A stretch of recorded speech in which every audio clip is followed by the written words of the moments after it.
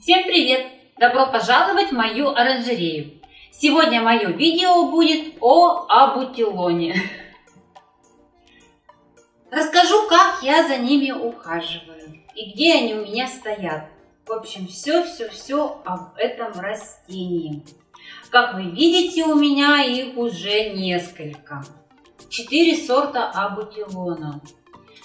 Но они, конечно, быстро очень отцветают, поэтому не поймала момент, просто некогда было. Вот у меня розовый очень хорошо цвел, я и, в принципе, показывала в предыдущих видео его, вы видели. Ну вот один цветочек, и он уже, по-моему, отцветает даже. Ну, бутончиков очень много еще.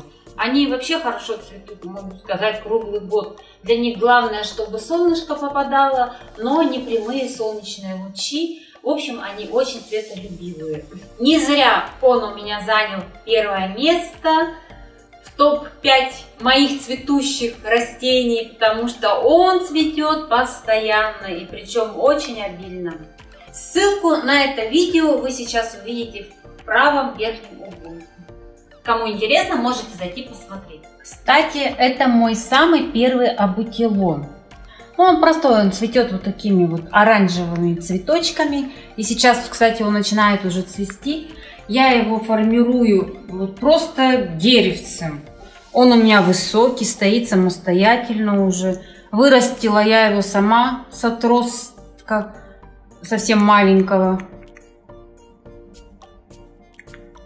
А вот здесь вот, если видите, листочки сохнут. Но это нормально в домашних условиях, потому что не хватает влажности. Все-таки растения у нас из тропиков. Который вот большой абатилон, это у меня простой. А вот это вот уже гибриды. То есть это выведенные сорта абатилонов. И они отличаются еще чем? А, самим цветком. Вот видите, цветок раскрытый. Но они, конечно, бывают, если крупные, вот если ванильный взять, у него немного свисают, как колокольчиком, потому что у него очень крупные цветы.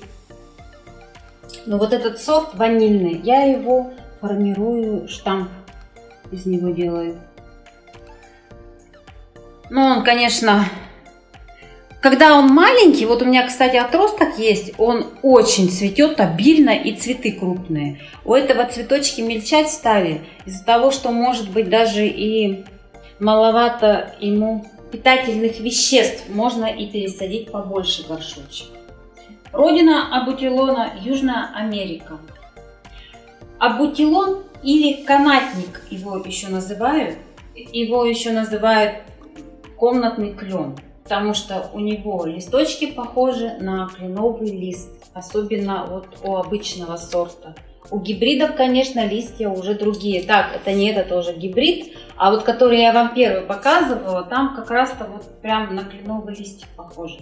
А эти уже листочки другие, особенно вот у розового, здесь, видите, вообще резных нету. Кругленький такой. Ценятся эти комнатные цветы за длительное цветение и неприхотливость. Если достаточно света, как я и говорила, он может цвести круглый год. Как правило, гибридные формы имеют более продолжительный период цветения. Растет комнатный клен очень быстро, хорошо ветвится и за весенний-летний период из черенка можно сформировать небольшое деревце или компактный кустик. Абутилоны используют для озеленения комнат, зимних садов и офисов. Они не нуждаются в сложном уходе. Это довольно неприхотливые домашние растения. Летом их можно использовать на открытом воздухе для озеленения террас и внутренних двориков. Абутилоны любят э, хорошее освещение и зимой, и летом. Если освещения будет недостаточно, он не будет свести и плохо будет развиваться. Поэтому его лучше размещать на восточных, э, западных окнах. Но если южное окно, то такое притененное, да, растениями другими. Если на южном окне, то нужно, конечно, притенять, потому что а, может получить ожог листьев. Полив. Зимой такой умеренный полив, а летом, конечно, когда жарко, когда уже квартирах тоже становится от солнца на окнах жарко, земля пересыхает быстро, и поэтому требуется полив более обильный. Весенне-летний, в общем, полив обильно, но все по мере пересыхания верхнего слоя почвы. Может быть, даже наполовину. Я их не опрыскиваю. Хотя абутилоны, они, я уже говорила, эм, любят повышенную влажность воздуха, так как они произрастают в тропиках и субтропиках. И, конечно же, удобрения. Удобрения нужно вносить в весенне-летний период, раз в 14 дней. Удобрения для цветущих растений. Грунт использовать либо для цветущих растений, либо универсальный грунт с добавлением каких-то разрыхлителей, чтобы почва такая была пышная и воздухопроницаемая, чтобы влага надолго э, не скапливалась. Ну, с вредителями я особо-то не сталкивалась, но я думаю, что паутинный клещ, конечно, любит, он все растения любит. Так что проблем с вредителями у меня не было. И про черенкование. Размножается абутилон очень легко. Просто вот срезать веточку, ставить воду и в воде прекрасно дает корешочки. Можно в тепличку. Кто кому как нравится. И также хорошо размножается семенами, которые продаются сейчас у нас уже в садовых центрах. Любит обрезку, потому что очень легко его формировать обрезкой, как вот вы хотите видеть свое растение, так и можете его подстричь. Он, в принципе, только спасибо вам скажет. Так что не бойтесь, стригите свои абутилончики, потому что он растет очень быстро. Это вот если гибридные сорта взять, они, конечно, помедленнее растут.